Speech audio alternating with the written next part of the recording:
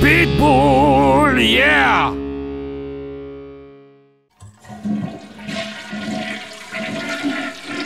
Hop!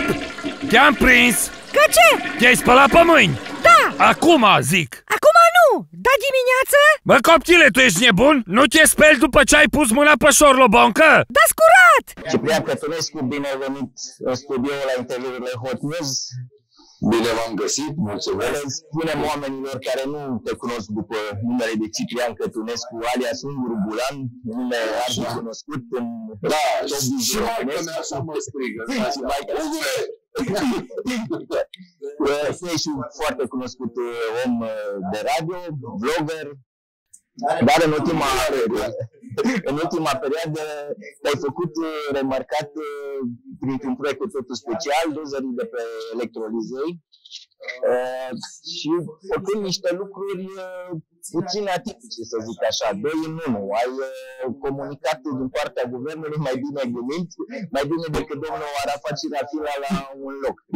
În uh, loserii de pe electrolize, în animația făcută de tine, ai combătut uh, fake news-ul Oarecum, da, să zicem. foarte eficient și ai promovat uh, la fel de eficient pentru, în special pentru cei mai tineri, uh, regulile de igienă. Cum ai ajuns la subiectele astea? Uh, În primul rând, dacă îmi spui că cineva a...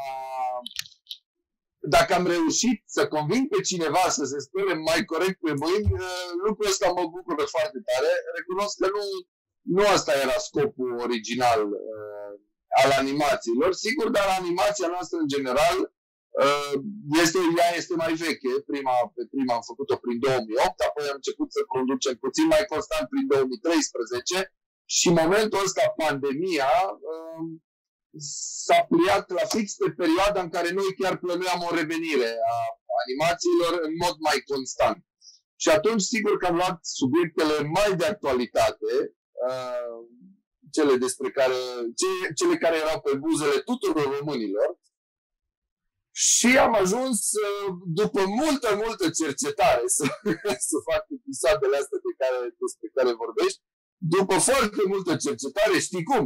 Stând pe Facebook și observând uh, reacțiile românilor la reacțiile autorităților în ceea ce privește pandemia. Uh, practic s-au scris singure, ca să zic așa, uh, cele mai multe episoade s-au scris singure, pentru că doar uh, eu, eu personal, noi, că suntem doi în echipă, eu și Silard am fost doar observatori, ca să spun așa, și am redat, uh, am redat ceea ce am văzut noi că se petrece pe internet cu privire la pandemie. Cum au fost reacțiile după clipul Săpun, cel care le explică ne explică cum să ne spălăm corect pe mâini, spălat robinetul, spălat din nou pe mâini, spălat săpunul, forma aceasta de umor de a transmite un mesaj de importanță mare. Uh, des- destul de bune și ce am, din observațiile noastre, cele mai uh, predominante comentarii au fost fix așa mă spăl și eu, să știi. Exact așa fac și eu. Niciodată nu, sau alții care spuneau, niciodată nu m-am gândit că trebuie să șterg, să iau de fiecare dată un prosop nou, ceea ce sigur era, uh, era o situație dusă la extrem. Îți dai seama că acum nu o să ștergi prosopul cu alt prosop sau să speri să pună cu alt să pun. Un pic am mers și noi mai departe de dragul de amorul artei, de dragul comediei. Au apărut apoi teoriile conspirației, nu există COVID, extraterestri gri, da, Gates, Cinci trebuie Gates. așa. Ai surprins din nou și ai ironizat foarte bine într-un, într-un nou clip. Cum, uh, cât de greu a fost să îl faci?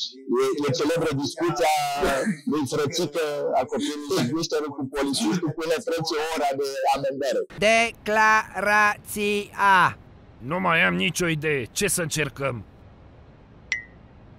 Ce părere aveți despre Bill Gates și oculta mondială? Da, mă, e clar că cineva ne conduce destinele de umbră. Uh-huh. Ai văzut ce vor să facă cu antenele astea 5G, mă? Da, eu am un prieten care a răcit că au trimis un fax.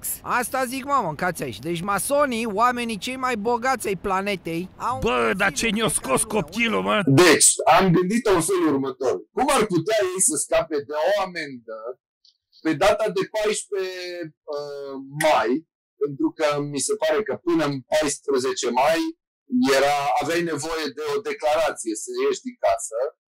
După data de 15, adică odată ce uh, începe data de 15, nu mai aveai nevoie de declarație și ei, fiind prinși pe stradă de un polițist, că nu au declarația la ei, s-au gândit cum să ținem noi pe ăsta de vorbă. să treacă timpul până la, până să se facă 15 uh, mai. Și atunci uh, am venit cu ideea asta, cum ar fi să le întrebăm, ce părere aveți, domnule, despre Bill Gates și oculta mondială? și planul ocultei mondiale de a, de a ne suprima pe toți. Uh, și a fost o idee bună și la fel a fost o idee inspirată din, uh, din realitate. Personajele noastre, de fapt, sunt, au fost întotdeauna oarecum oglinda societății. Și chiar dacă un personaj e mai bun și unul mai rău, unul e mai moralist, uh, are un set de valori morale mult mai solide, uh, toți, toți avem la un moment dat o scăpare. Toți vrem o țară ca afară, toți vrem o țară diferită, dar tuturor ne place la un moment dat un pic, chiar și atâtica, atâtica, să fentăm să fântăm puțin, că așa ne place noi, așa suntem noi românii construiți, probabil să tăiem un pic colțul.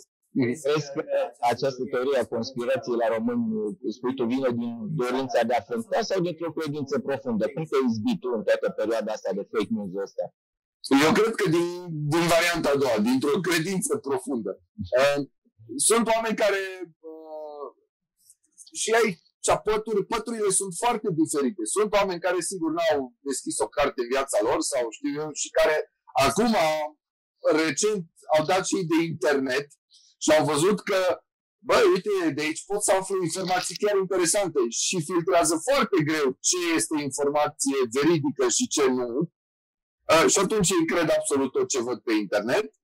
Uh, și pe de cealaltă parte, surprins, spre surprinderea mea, sunt și oameni care, oameni care au terminat două, eu știu oameni care au terminat două facultăți, uh, profesori de limbi, știu oameni foarte citiți și foarte educați care cred în conspirația asta. Ceea ce pentru mine a, a fost puțin trist și surprinzător. Am uitat să-i avertizez uh, cei care se uită la noi că va fi o discuție totuși destul de serioasă. Probabil da. să se uită la ceva. Da, și crezi, mai crezi că reacția autorităților a fost una corectă în a bloca fake news și teoria conspirației sau din contră, după părerea ta? Eu, eu cred că n-au, n-au reușit să comunice foarte bine. Autoritățile, cred că cea mai mare lipsă a lor în momentul ăsta este un comunicator bun, un, cineva care să știe să le spună oamenilor, cetățenilor pe limba lor, nu pe, pe un limbaj pe care să-l înțeleagă doar redacțiile de știri, doar presa, doar oamenii din ziare și știu eu, oamenii care cât de cât au puțină școală. Trebuie cineva care să vorbească exact pe limba lor și nu, nu cred că au reușit să să dea nici măcar mesajele uh, care îndemnau la protecția împotriva COVID-ului, nici asta și nici măcar uh, mesajele anti-fake news nu, nu cred că au fost și-au atins scopul. Uh, te-a contactat cineva, să zicem, din partea vreunei autorități după ce au văzut succesul pe care l-ai avut în explicarea regulilor. E o glumă, nu? nu, dar ce să zic, toate autoritățile să vină la mine. Promit să-i ajut. Nu, glumesc, sigur, dar uh, nu, n-am fost contactat uh, de nimeni. Înțeleg că ulterior am aflat că aș fi putut să fac și să aș fi putut face și niște bani din asta, dar uite, n-am, n-am fost cu două minute mai deștept, nu știam. Am înțeles că erau și niște fonduri europene uh, pentru, pentru combaterea fake news-ului, dar nu, ne-am făcut-o pur, pur și simplu din, din plăcere și din, din pasiune, să spunem. Ca om de presă, cum vezi că se desfășoară fake news-ul ăsta? E atins o cotă îngrijorătoare în ultimii ani? Față da, de 5 ani, cum vezi? Al, alarmant, da, puțin alarmant. Și mm, cel mai tare mă sperie apariția deepfake-ului, probabil că știți despre ce vorbesc, și mm, mă rog, de fiecare dată când uh, văd câte o informație nouă despre deepfake, uh, vreau să știu cât mai multe despre ea, pentru că probabil asta o să fie nou, noul război pe care o să trebuiască să-l ducă uh, presa corectă, presa cinstită, cu un inamic aproape invizibil. Dacă am vorbit de, de guvern și rolul în combaterea fake news-ului, presa cum ți s-a părut că s-a comportat în toată perioada asta de pandemie? Eu zic că bine. Sincer, chiar cred Ce puteai să spui altfel? Nu, nu, nu, nu. Sincer, chiar cred că de-aia am început propoziția cu sincer. chiar cred că bine. Destul de bine. Sigur, uh, tot pre, aceeași presă despre care vorbim a fost și criticată de adepții uh, teoriei conspirației. Sigur, vi se servește, ei dau ce li se spune să dea. Uh, sunt plătiți, vi se servește numai minciuni. Uh, presa pentru asta e plătită să-și facă treaba, să, știu eu, să redea din manualul de propagandă ce îi se dictează. Dar presa bună, eu zic că are dat destul de bine și Aici cred că este un, un plus. Ai un public uh, foarte variat. Cum vezi că trec mesajele prin umor? Cum vezi forma asta de combatere a unor lucruri prin, uh, prin umor?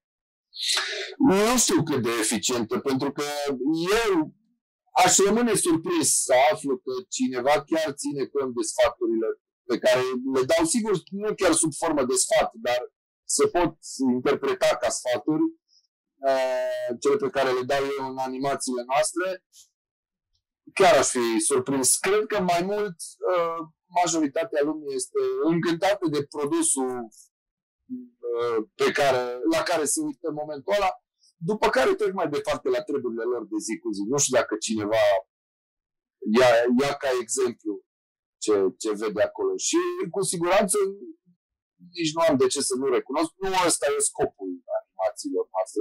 Dacă reușim, sigur, să, să atingem și latura asta, suntem fericiți, nu pot să spun că nu, dar nu, nu ăsta e scopul nostru.